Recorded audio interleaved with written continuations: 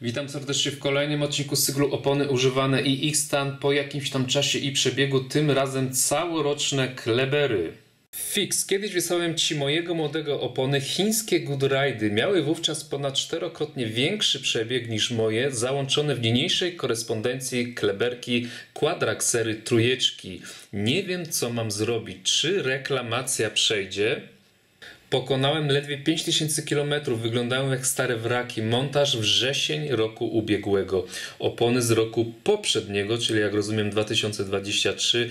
Nowe zakupione w IC, rozumiem, że to sklep. W załączniku tylko kilka fotek, ale dają do myślenia. Jutro młody będzie u mnie, zrobię kilka fotek bohatera, to znaczy chińskiego bohatera pod tytułem Good Ride. Proszę bardzo, niektórzy się śmieją, a niektórzy zadowoleni. Tamte, czyli Good Ride, trzymają się elegancko, już 30 tysięcy kilometrów i 3 zimy. No proszę bardzo, czyli jednak Good Ride nie takie złe. Dodam, że taki stan tylko na przedniej osi, tylne stan dobry. 60% trasa, reszta tryb mieszany. Więc co robić? Reklamować? Jak myślisz, co myślą widzowie? No to mamy klebery, tutaj z boku jak nówka sztuka, kwadraksery trójeczki, i tu już widać, że coś się dzieje.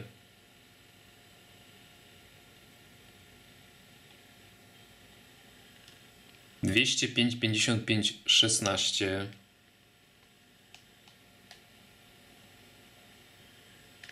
All season.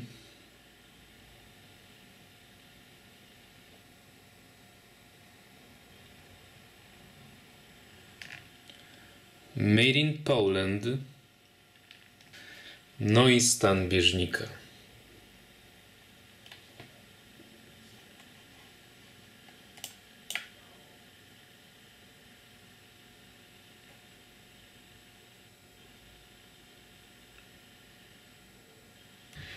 I kolejne ujęcie. Bałem się, że może tu jest bieżnik wyszarpany na rogu, ale poszukałem w necie nówkę sztukę i tak ma być. Czyli to jest to. Tutaj takie zaokrąglenie. Przy okazji widzimy jak wygląda nowa sztuka. I kolejne ujęcie.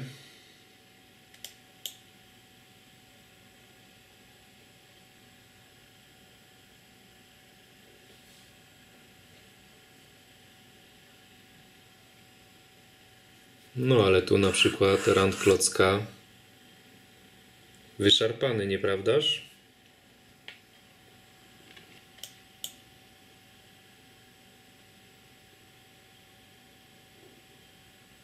Były już na kanale Klebery Quadraxery, ale chyba jedynki i dwójki i wyglądały całkiem nieźle.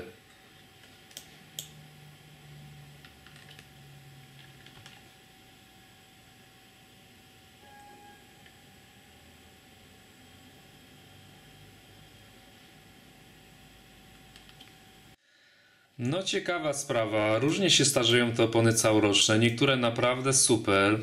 Niektóre tak jak u mnie y, w Redensteiny. U mnie klocki chyba się tak nie łuszczyły. U mnie odpadał bieżnik jakby tutaj na klockach. Natomiast tu na klockach jakby nie odpada bieżnik, tylko się łuszczą te ranty.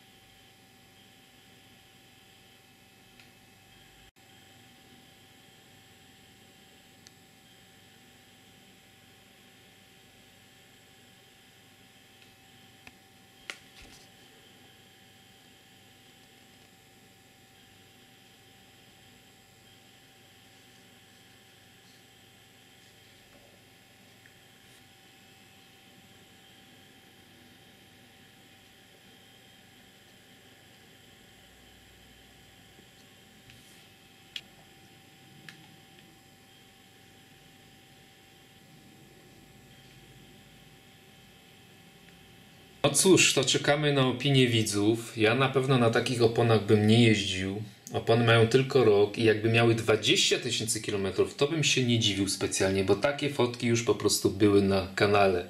Tak, opony całoroczne tak mogą wyglądać po roku, ale powiedzmy po 20 tysiącach kilometrów, a tu mamy tylko 5. Natomiast właściciel pisze, że tak te opony wyglądają na przedniej osi, że z tyłu jest całkiem ok, więc pytanie dlaczego? Jak rozumiem, ciśnienie było pilnowane. I auto nie jeździ tylko po mieście, 60% trasa. Na taki stan rzeczy, że opony z przodu bardziej cierpią, oczywiście może wpływać też styl jazdy, czyli mocny moment obrotowy i deptanie. Dzięki, trzymajcie się.